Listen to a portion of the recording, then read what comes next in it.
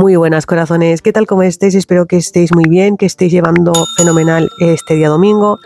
Lo primero de todo, pediros perdón si notáis mi voz un tanto extraña, pero es que eh, estoy con gripe. Ayer estuve afónica y bueno, como no quería dejaros sin contenido ayer, eh, busqué la manera de subir vídeos, pero no con mi voz, lógicamente.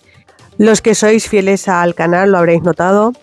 Y bueno, me habéis escrito un montón por Facebook, por Instagram, pensando de que el canal se me había hackeado y tal. No, el canal sigue, el canal no está hackeado, simplemente tomé esta medida porque ayer, eh, lógicamente, con la fonía que tenía no podía grabar. Y bueno, busqué la alternativa para no dejaros sin contenido, pero no, el canal está en Social J, esta es mi voz, este es mi canal y seguirá habiendo contenido como siempre. Lo que sí que es cierto, chicos, chicas, que habrán vídeos que estarán con mi voz y otros vídeos que no lo estará. Todo esto lo hago para que repose eh, la voz y bueno, espero que sepáis entenderlo y que cuente con vuestro apoyo.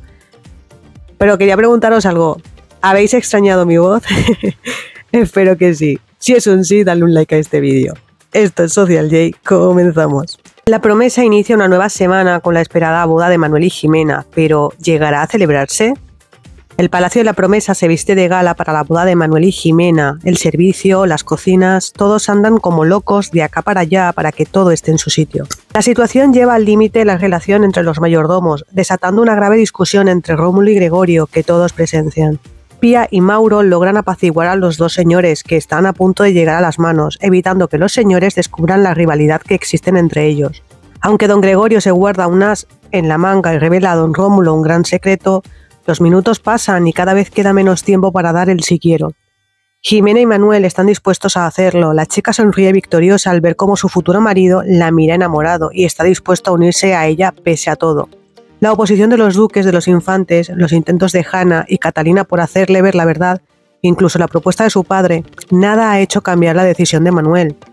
Por fin llega el momento. Manuel espera en el altar a Jimena, sin embargo hay alguien que puede estar dispuesto a decir unas palabras cuando el cura haga la pregunta final. El martes en la promesa, Curro descubre la verdad sobre otra historia relacionada con su familia. El chico está destrozado.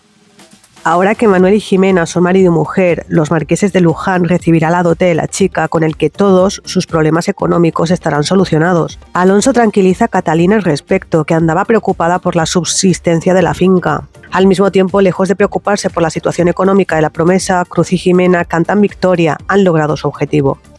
Las diferencias entre Rómulo y Gregorio cada vez son mayores y sus enfrentamientos cada vez más frecuentes y sonadas.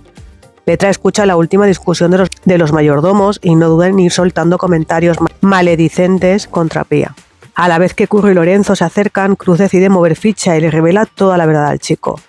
Una paliza de Lorenzo fue lo que postró a su madre en una silla de ruedas. Tras escuchar tal acusación, Curro está dispuesto a vengarse de su padre.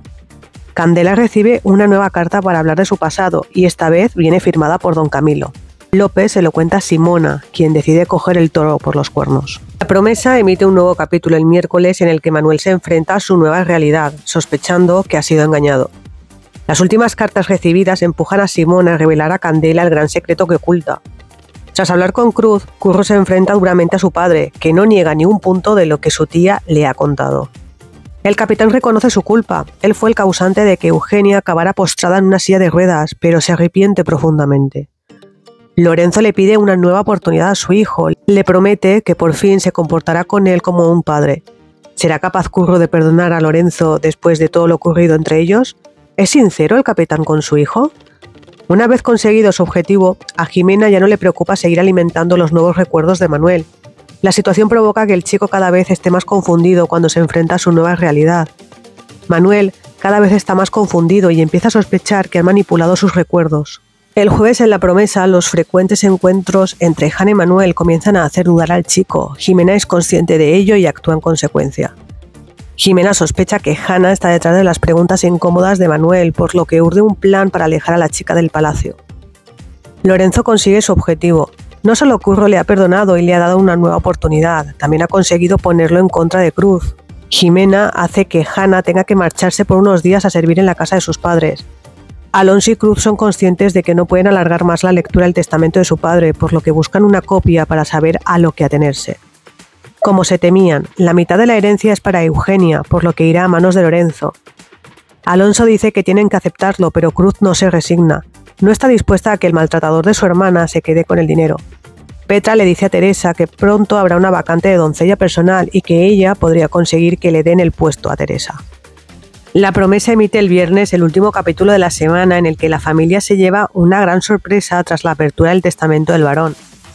Manuel cada vez está más seguro de que han manipulado sus recuerdos aprovechando su pérdida de memoria para cambiar su forma de ser y tomar decisiones que en otras condiciones no hubiera llevado a cabo. El heredero de los marqueses de Luján pregunta a todos con la intención de reconstruir por sí mismo todo lo olvidado. Candela sigue muy enfadada con Simona y utiliza a Lope como intermediario entre ambas.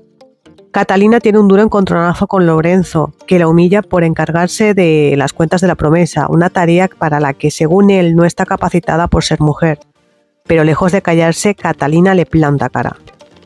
Por fin llega la lectura del testamento del varón, que revela una gran sorpresa y cambia radicalmente los planos de Alonso y Cruz. No te olvides de suscribirte, dejar tu like y activar la campanita en tu canal Social J. Muchas gracias por tu visita y recuerda que si quieres estar al día de todas las noticias, incluido series y telenovelas, este es tu canal Social J.